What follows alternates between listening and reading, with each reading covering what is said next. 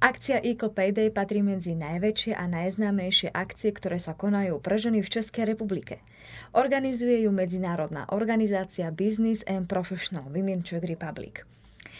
V hľadisku, ale aj na pódiu môžete stretnúť same zaujímavé a inšpiratívne ženy.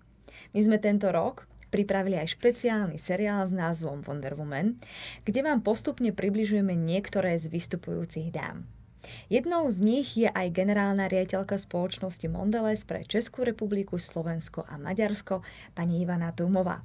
Sme veľmi radi, že si vo svojom nabitom programe našla čas a urobila s nami rozhovor, kde nám priblížila bližšie detaily toho, čo sme vám nestihli v danom seriáli prezradiť. Tak nech sa páči, poďme sa na to pozrieť.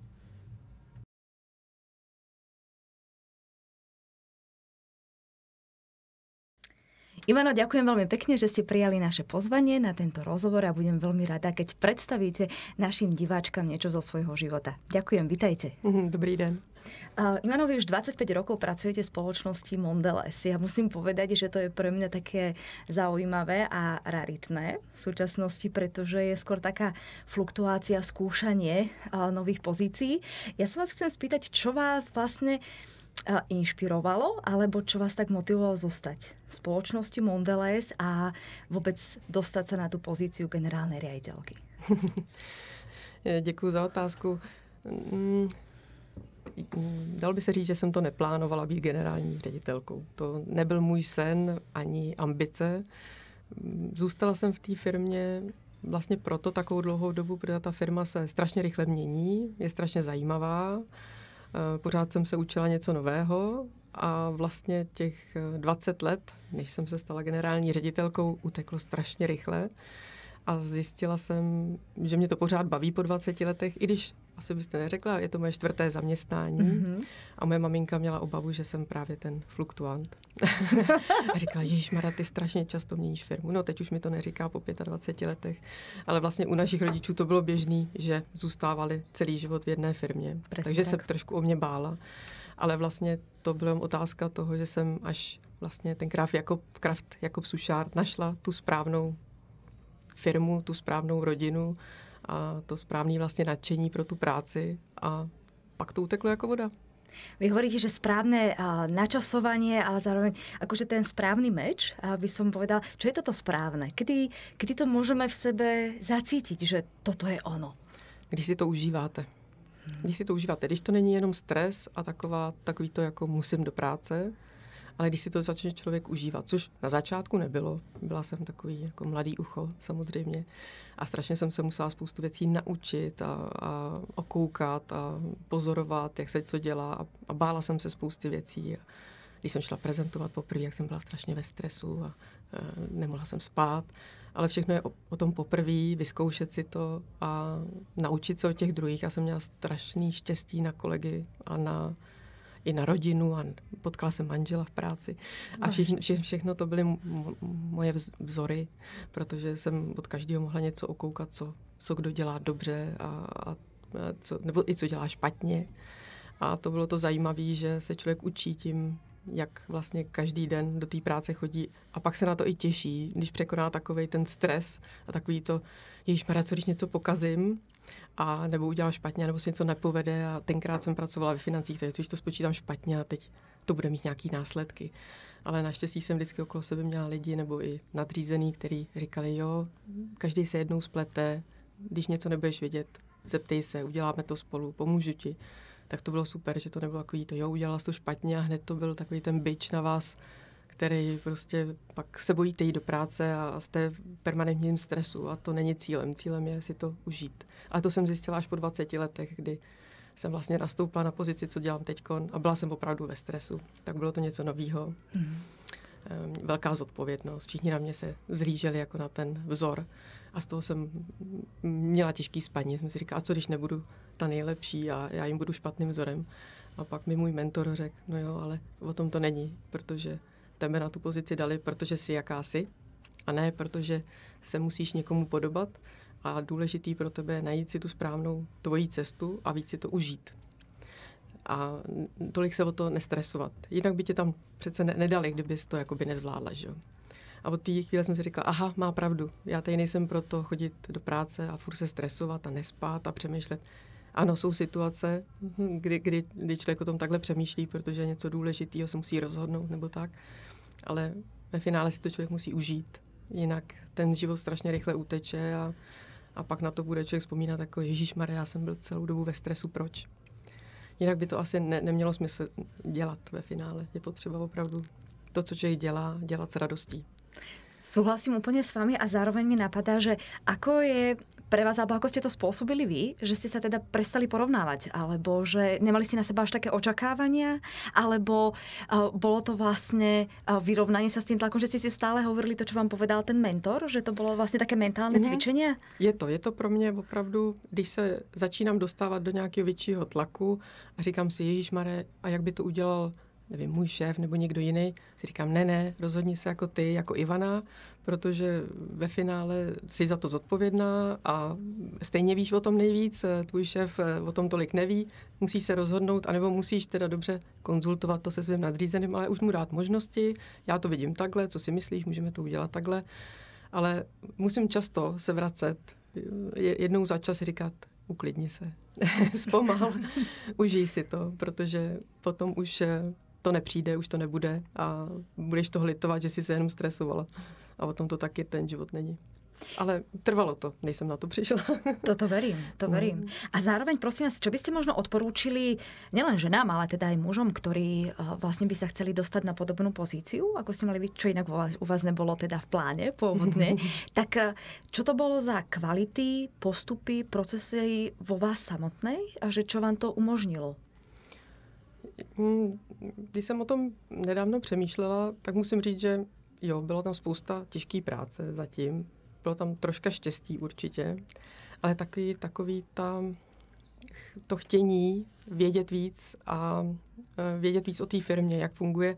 Jak říkám, byla jsem 20 let ve finančním oddělení a měla jsem to štěstí, že jsem mohla skrz ty finance se podívat pod pokličku tamhle nákupu, tamhle personálnímu, tamhle marketingu a že mě to zajímalo. A tím vlastně jsem si vytvořila takový jako větší přehled samozřejmě o té firmě a to bylo takový to, co mě pak pomohlo na tuhle pozici, že jsem věděla od všeho kousek. Dobře, jsem asi největší expert ve financích a, a v číslech, ale vím trošku tamhle, nejsem expert marketingu, to ani nikomu netvrdím, ale prostě vím, že jak by to asi přibližně mělo být a mám tam na to samozřejmě odborníky, který mi řeknou z marketingu, ano, takhle to bude, dohodneme se, ale trošku něco vím a to asi bylo takový to, ten zájem o tu věc, o to dění v té firmě, o to, co mě zajímá, aby pak mě to vlastně naplňovalo a i zároveň bavilo. To je výborné počuť, je vlastne uh, zaujímať sa a nebyť zaujímavý. Mm-hmm, to, to, mm-hmm. je, to je skvelé. Že Určitě. Takto... Když někoho něco baví, ať je to je jakákoliv oblast, tak zajímat se o všechny ty procesy od A do Z, jak co navazuje, jak co spolu souvisí a pak podle mě člověk dostane ten přehled daleko větší samozřejmě, i víc ho to baví, ale i ho to může posunout někam dál. A nemusela jsem mít s financí na tuhle pozici, mohla jsem třeba si říct, půjdu s financí do nákupu. Ale i tenhle krok by mi umožnil, že se zase naučím něco nového a zase mě to posune mě samotnou někam jinam. A může to nasměrovat člověka úplně jiným směrem, hmm. což je zajímavý. To je vlastně taká životná zvedavost v podstatě. Mm-hmm, určitě. Také objavování. Ne, určitě. To je na tom to krásný a vlastně i do budoucna pořád si myslím, že se mám co učit, že pořád ještě mám spoustu rohů neproskoumaných, který stojí za to proskoumat. A to je na tom to, to hezký, že ani člověk není tak, jako že se nenudí a mm. že pořád zkoumá a objevuje. A samozřejmě má tu ten běžný život, který k tomu se prolíná. Ivano, vy vlastně aj so spoločnosťou Mondele ste partnermi akcie Equal Pay Day uh-huh. a ja som sa vôbec chcela spýtať, že či vo vašej spoločnosti máte nejaké programy na diverzitu, alebo prečo ste sa vôbec rozhodli byť, byť partnermi? No, určitě. Samozřejmě je to téma, které rezonuje naší firmou už po spoustu let, protože víme všichni, že když ta diverzita nebo ta, to partnerství mezi nejenom mužem a ženou, ale pro mě diverzita je spíš takový i třeba mít zahraniční eh, pracovníky eh, různých eh, profesí růz, s různým backgroundem, protože to je takový, v, tý, v, tom, tý, v tom týmu je to potom takový barevný. A ty nápady z různých vlastně směrů, z růz, od různých lidí, nejenom ženy, muži, ale máme i zahraniční kolegy. To je potom úplně taková fantastická směs, která nás posune zase úplně k řešení, který jsme neplánovali, ani nebylo na papíře, ale vlastně nás to posune úplně jiným směrem. Hmm. Ale vlastně, co se týká žen jako takových, tak eh, hlavně v obchodním oddělení to v historii bylo hodně takový moc víc mužský spektrum. kolegů by se dalo říct. Takže jsme se hodně zaměřili na obchodní oddělení, protože si myslíme, že ženy do toho vnáší zase úplně něco jiného, jiný, jiný takový eh, to umění, i to vyjednávání a vz, uh, udělat si, vytvořit si vztah s tím partnerem. Takže podporovat ženy, aby se nebálí do obchodního oddělení, protože mají z toho obavy a říkají si, že mhm. na mě někdo bude tamhle křičet, že něco. Ne, ne, ne, dneska už taky samozřejmě i se ta druhá strana chová daleko hmm. lepší a, a, a ženy si vytvoří vždycky možná ještě lepší vztahy než muži s těma našima zákazníkama. Funguje to bezvadně, že teď máme hodně žen. Mm-hmm. A máme evropský, celý evropský projekt, který se jmenuje Hungry for More, který podporuje ženy, dáváme jim mentoring a pomáháme jim růst tou firmou v obchodním oddělení, ale i mimo obchodní oddělení. Iba tak pre zaujímavosť, Ivana, že v čom je možno, že taký iný prístup eh, žien obchodníčok v porovnaní s mužmi? Cítite tam nejaký možno, niečom je to iné? Keď to tak zhodnotíte? Mm, lehce, samozřejmě dáváme tomu víc empatie a pocitů. Mm-hmm. Někdy samozřejmě to může být na škodu, ale zase ta žena právě si vytvoří ten takový jakoby užší vztah i někdy s tím partnerem a má takový lepší i vyjednávací schopnost v některých, v některých, eh, v některých oblastech. A u mě ženy umějí být taky hodně tvrdý, vyjedná, vyjednávačky, strašně záleží. Ale bojí se toho, bojí se toho konfliktu a musí si, musí si to zkusit, aby zjistili, že ve finále to není zas tak, není to nikdy osobní samozřejmě. Je to, je to, musí se od toho oprostit, že zákazník někdy, když něco řekne třeba i tvrdě, tak to nemyslí osobně na toho člověka, spíš na tu firmu samozřejmě. A je na tom obchodníkovi, aby za, aby bránil tu firmu a dobrý jméno společnosti a samozřejmě, aby prodal co nejvíc. Presne tak. Tak uh, s týmto myslím, že by sme sa aj mohli rozlušiť, že ženy, vyskúšajte to. Vyskúšajte rôzne oblasti, netreba sa toho obávať. Určitě. Jakákoliv oblast, nejenom obchodní oddělení, ale za tu kariéru je dobrý si vyzkoušet víc věcí, protože z každé z každý oblasti si člověk může vzít něco pro sebe, naučit se něco nového a pak mu to pomůže růst zase dál. To je skvelé. Tak vám držím palce, nielen vašim obchodničkám, ale aj obchodníkom a ďalším oddeleniam a ďakujem veľmi pekne, že ste si našli čas dnes. Ja taky děkuju. Hmm. Tak, to bol rozhovor s Ivanou Tumovou, generálnou riaditeľkou spoločnosti Mondelez pre Českú republiku, Slovensko a Maďarsko.